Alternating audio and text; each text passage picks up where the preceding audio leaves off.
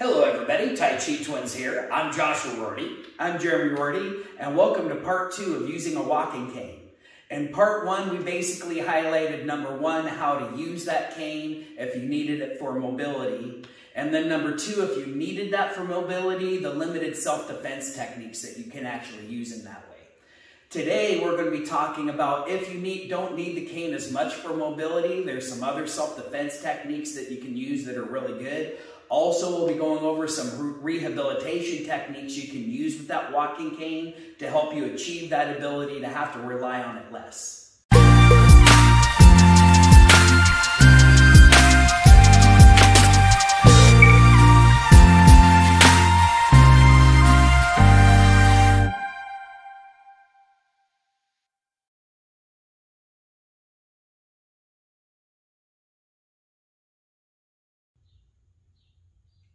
Talk about using the cane for rehabilitation, making yourself stronger so that maybe you don't even need the cane anymore. So I'm going to start talking about using the cane to rehabilitate the upper body.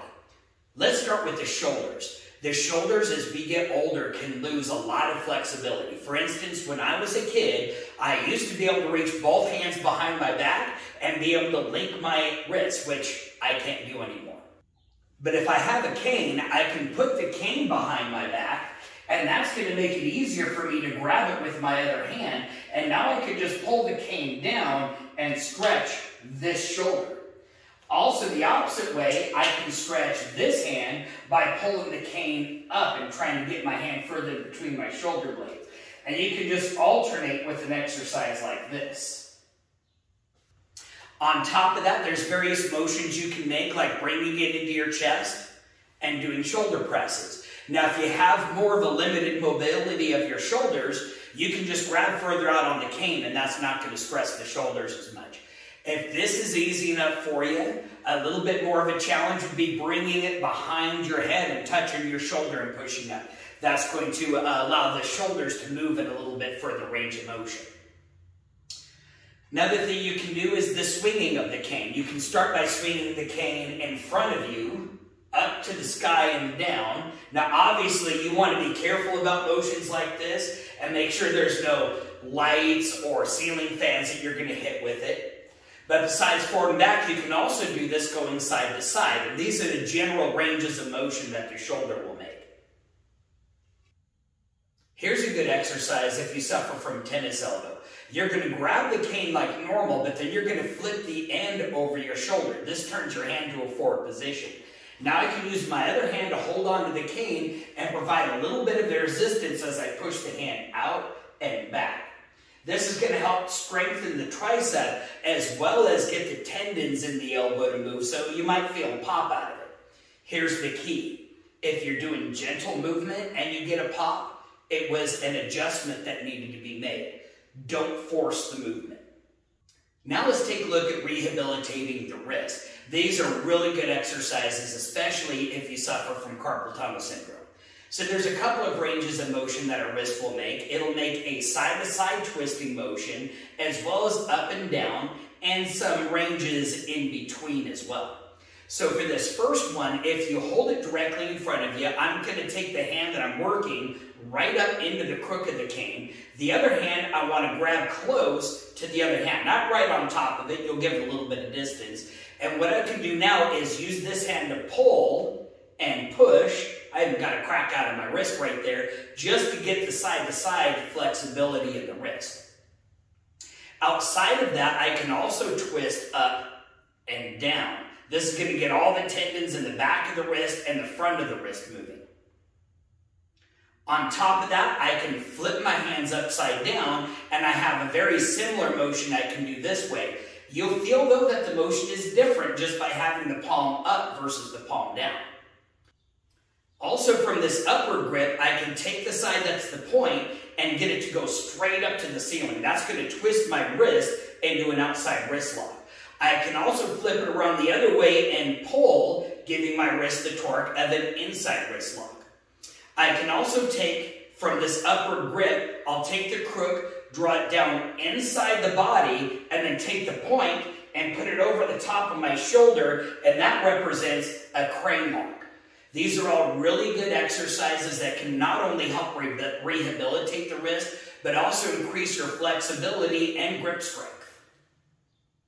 Another way you can increase the grip strength with using a cane is acting like you're twisting a towel. So one thing I want to point out here is you don't want to be too close to the crook for this one because as you go to rotate it, it's going to get caught onto your wrist. So you'll grab it a little ways up and if you watch the crook, I'm going to twist the crook towards coming towards me and then I can also twist it the other way where now the crook's going away from me.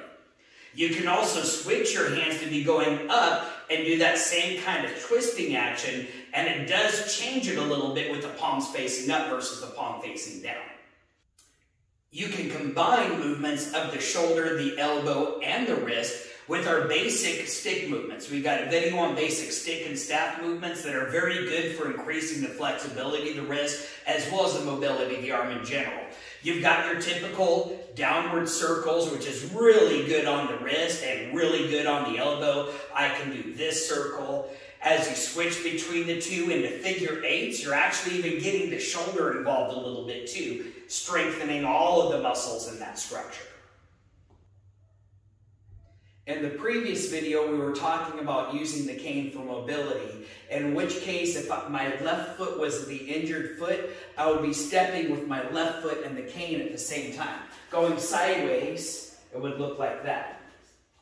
And basically what that's doing is allowing me to have a little support so that I don't have to put so much weight on this leg. Now, the problem is if I've been walking on an injured foot, chances are I've changed the way that I've been walking on it. And now that I've rehabilitated it and I've been wanting to get some strength built up in it, I'm going to have to start retraining how I'm stepping. So normally when I walk, I'm stepping heel to toe, and as I step heel to toe here, this foot is rolling up the heel onto the toe. So it's kind of this heel-toe motion as I'm walking back and forth. So that's what I'm trying to build here. In this case, instead of having the cane on the opposite hand of the injured foot, I'm going to be using it on the same hand as the injured foot. And so what I'll be doing is stepping out with my unaffected foot and the cane, and as I step up, I'm trying to get this roll of the heel coming up and then going with the toe. As I take my step forward, I have some balance here with this cane in my foot, and I can slowly work on setting my heel down onto my toe. And so I'm going to step forward and lift the heel, step forward again and press, press the heel down. And so that's just going to allow me to start getting my foot doing the right thing, put some extra stress on that knee or that ankle or that foot that I was having issues with before. Now from sitting, there's some techniques I can use with my legs that are pretty much the same thing as what we were doing for the upper body. Number one is if I'm trying to rehabilitate my knee or my hip, I can actually get some resistance going with this cane. Depending on the size of your hook, you might be able to get your whole foot in there. In this case, I'm just getting my first two or three toes inside there, just enough where I can get a good grip on it. In this case, I can pull this cane and get my knee to come close to my shoulder. And I'm bringing this tip of the cane underneath my armpit. And so that's going to be some flexibility things. I can start lifting that in. Opposite side, I can be using this for resistance. And once I pulled it in, I can now push out with my leg and then pull it back. And now I'm using this as a resisted movement.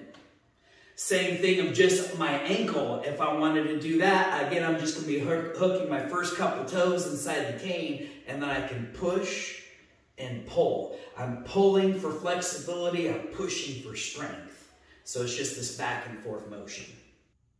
Now, if part of your injury was an injured hamstring, there's flexibility that now becomes an issue because of that muscle rehealing. Besides that, a lot of men have a hard time with the flexibility of their hamstring muscle. I teach this a lot in my martial art classes where people have a belt as I can put my leg out, hook that belt over my foot, and I can use that to pull me into the stretch. Same thing for my cane. I can just, again, hook my first couple toes. If my hook's big enough, I can get my whole foot in there. And then I can just grab up as high up on the cane as I can get. And then I'm going to pull myself into that stretch.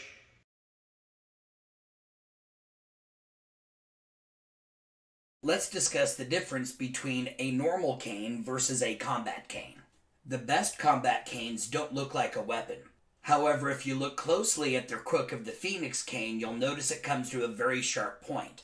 This can be handy for pushing into pressure points. A derby style cane will have a knob that protrudes off the end. That can be very good for hammering strikes.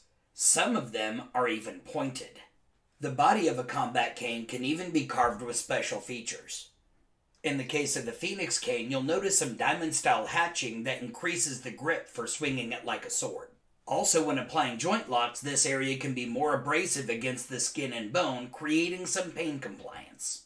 Further down the body is carved a spiral pattern, which reduces the surface area and causes a deeper pain when striking. The foot of this cane tapers to more of a point, giving better penetration when thrusting. Keep in mind that if your combat cane looks too much like a weapon, that can be used as a weapon against you in court. Combat is what something I'm going to use if I'm in trouble to get myself out of trouble. So one of the things we showed you in the first video, for instance, is if I need this cane for mobility, I can strike with it just like I'm punching. And with this having a point on it, you can see how much more effective something like that would be. As far as striking with the cane, you can look back at our Kali 24 count. All the techniques from that will work the same with the cane. But now there's the difference of having the hook on the end. That same technique now hitting with the crook is going to provide me more power. As well as being able to not only hit with the cane, but also be able to use the point of the crook to pull him forward. Really effective if I'm striking to the knee and then I can get behind the knee or behind the hamstring. That can really make him want to move. I just want to bring up another similarity we mentioned in the first one. If I've got this cane in front of me and all of a sudden I'm lifting it up like this, he knows it's a weapon, which means he can counter the weapon and maybe even take it away from me. But if I can be holding it in a casual way and I want to strike him in the head and I can swing from here to hit him in the head, it's going to come as much more of a surprise, especially since his eyes are going to be up and they're not going to necessarily see what's happening with the cane. If I do this kind of motion where I'm trying to hit him in the groin and he moves back and I miss, I can now come back down with a typical 24 count swing if I needed to. Next, we'll talk about if the opponent is trying to grab you or get control of the cane. Now, number one thing is if he just reaches out and grabs my jacket or something, he's wide open there. I've got a lot of these strikes that I can use to the ankle, striking here, that he's going to have a hard time seeing, let alone defending against. If he's grabbing my wrist, whether, whether it be the outside wrist or the inside wrist, this is really any of my Hapkido techniques. I can just grab this hand, bring that over as a strike, and now I've got a joint lock here.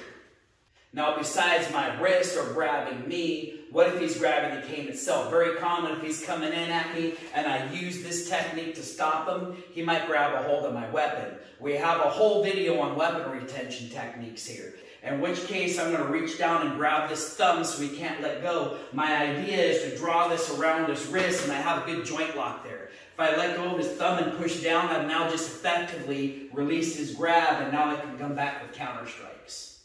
Now, when it comes to some of these weapon retention techniques, they can be much more effective with a cane rather than a stick. A couple features of this cane that would make it more effective. Number one, it's longer.